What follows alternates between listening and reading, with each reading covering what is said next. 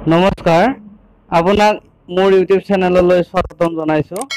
আজি আমি আলোচনা কৰিম এছাম পুলিচ ডিপাৰ্টমেণ্টত যিখিনি চিলেবাছ আছে এক্সামিনেশ্যন পেটাৰ্ণ কেনেকুৱা হ'ব তাৰ ওপৰত সবিশেষ আলোচনা কৰিম।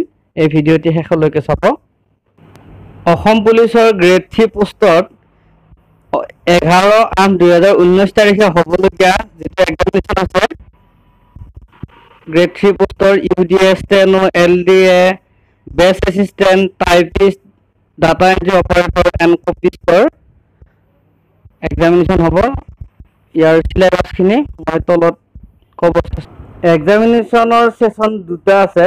এটা মৰ্ণিং ছেশ্যন আৰু এটা হৈছে আফটাৰনুন ছেশ্যন মৰ্ণিং ছেশ্যনত যিবিলাক কেণ্ডিডেট এইচ এছ পাছ কৰিছে আৰু ডাটা এণ্ট্ৰি অপাৰেটৰ আৰু কপিষ্টত এপ্লাই কৰিছে তেওঁলোকৰ হ'ব।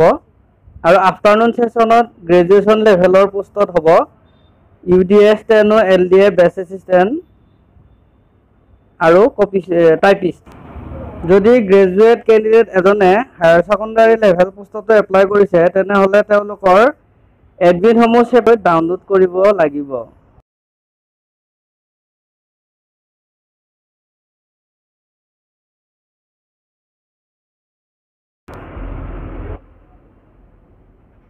Written test.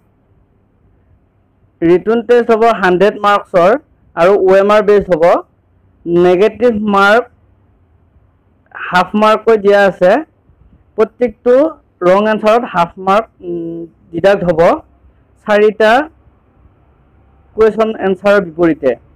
আৰু এক নম্বৰ দুই নম্বৰ তিনি নম্বৰ চাৰি নম্বৰকৈ দিয়া আছে। আমাৰ কণ্টেণ্ট কিহৰ ওপৰত কুৱেশ্যন থাকিব?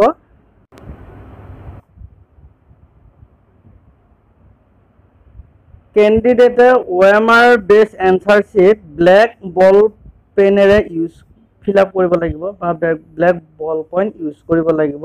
ইয়াৰ পিছত আছে প্ৰেক্টিচ টেষ্ট ফিফটি মাৰ্কছৰ হ'ব।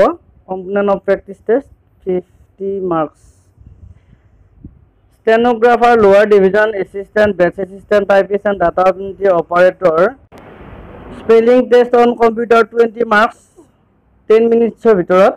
Typing test on computer twenty marks ten মিনিটছৰ ভিতৰত আৰু online M C Q test হ'ব দহ মাৰ্ক দহ মিনিটত। আৰু টোটেল থাকিব fifty marks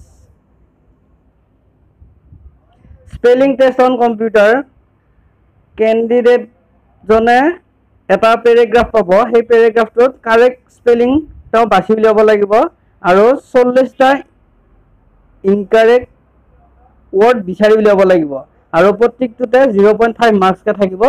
যদি সমৰ্থবান হয় তেনেহ'লে জিৰ' পইণ্ট ফাইভ মাৰ্কছকৈ পাব এটাত টাইপিং টেষ্ট অন কম্পিউটাৰ আছে। দুশটা ৱৰ্ড টাইপ কৰিব লাগিব জিৰ' পইণ্ট ওৱান মাৰ্কছকৈ আছে। প্ৰত্যেকটো ৱৰ্ড কাৰেক্ট ৱৰ্ডত জিৰ' পইণ্ট ওৱানকৈ মাৰ্ক পাব। Online M C Q test ইয়াতে বিছটা কুৱেশ্যন থাকিব আৰু প্ৰত্যেকটো কুৱেশ্যন এনচাৰৰ বিপৰীতে জিৰ' পইণ্ট ফাইভ মাৰ্কছকৈ পোৱা যাব আৰু ইয়াত নেগেটিভ মাৰ্ক নাই। ষ্টেনোগ্ৰাফাৰ গ্ৰেড থ্ৰীৰ পঞ্চাছটা প্ৰশ্ন থাকিব। ইয়াৰে স্পীড টেষ্ট হ'ব shorthand at a speed of eighty words per minute আৰু পাঁচ মিনিট পোৱা যাব। চাৰিশটা ৱৰ্ড থাকিব। তিনি মিনিট থাকিব। Time to be given to the candidate for test on computer computer test ল'ব তিনি মিনিট আৰু বিছ মিনিট হ'ব। Transcription for dictated portion in computer এইটো আছিলে ষ্টেনোগ্ৰাফাৰৰ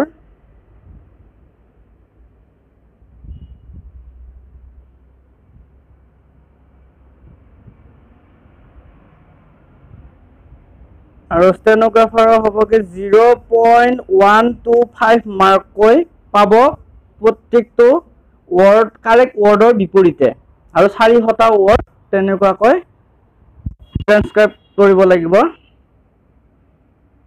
ফাইনেল যিটো চিলেকশ্যন হ'ব ৰিটুন টেষ্ট আৰু প্ৰেক্টিকেল টেষ্টৰ এগ্ৰিগেট মিলাই ফাইনেল লিষ্টত নাম আহিব পাৰে। মেৰিট ফাইনেল মেৰিট লিষ্ট তৈয়াৰ কৰিব। ৰিটুন টেষ্ট আৰু প্ৰেক্টিকেল টেষ্টৰ এগ্ৰিগেট পাৰফৰ্মেঞ্চটো চাই ফাইনেল মেৰিট লিষ্ট উলিয়াব। আৰু U D A cum assistant accountant U D A cum একাউণ্টেণ্টত practical test নাথাকে। এক্সপিৰিয়েঞ্চ অনুযায়ী তেওঁলোকৰ মাৰ্কিং হ'ব। ছয় মাহৰ পৰা তিনি বছৰৰ ভিতৰত টু মাৰ্কছ তিনি বছৰৰ পৰা পাঁচ বছৰৰ ভিতৰত তিনি মাৰ্কছ আৰু পাঁচ বছৰৰ ওপৰত হ'লে ফাইভ মাৰ্কছ পাব। আৰু মেৰিট লিষ্ট মেৰিট লিষ্টত আহিব। তেওঁলোকৰ নাম হাণ্ড্ৰেড মাৰ্কছৰ ৰিটাৰ্ণ টেষ্ট হ'ব আৰু যিখিনি এক্সপিৰিয়েঞ্চ থাকিব একাউণ্টিঙত তাৰ ওপৰত বেছ কৰি যিটো মাৰ্কিং হ'ব সেই মাৰ্কটো অনুযায়ী মেৰিট লিষ্টত নাম আহিব। ইয়াৰ পিছত lower division assistant base assistant typist data operator written test হ'ব হাণ্ড্ৰেড মাৰ্কছৰ প্ৰেক্টিকেল ফিফটি আৰু টোটেল মাৰ্ক হ'ব ডেৰশ। ষ্টেনোগ্ৰাফাৰৰ হাণ্ড্ৰেড ৰিটাৰ্ণ হ'ব। প্ৰেক্টিকেল ফিফটি ষ্টেনোগ্ৰাফি টেষ্ট হ'ব ফিফটি মাৰ্কছৰ আৰু টোটেল মাৰ্ক থাকিব two hundred O' B C S C S টিৰ বাবে এখনেই মেৰিট লিষ্ট তৈয়াৰ কৰিব। প্ৰত্যেকটো কেটেগৰীৰ এখনকৈ মেৰিট লিষ্ট থাকিব। আৰু যদি কোনোবা দুজন কেণ্ডিডেটৰ একে মাৰ্ক হৈ যায় কোনো কাৰণত যদি মাৰ্কিং একে হয় বা ডেট অফ বাৰ্থো একে হৈ যায় তেতিয়াহ'লে তেওঁলোকৰ গ্ৰেজুৱেশ্যন আৰু হায়াৰ ছেকেণ্ডাৰীৰ যিখিনি মাৰ্ক থাকিব তাৰ ওপৰত বেছ কৰিহে তেওঁলোকৰ নামসমূহ মেৰিট লিষ্টত সোমাব। গতিকে বন্ধুসকল আজিলৈ ভিডিঅ'টি ইমানেই। সকলোকে ধন্যবাদ জনাইছোঁ মোৰ ভিডিঅ'টি শেষলৈকে চোৱাৰ বাবে।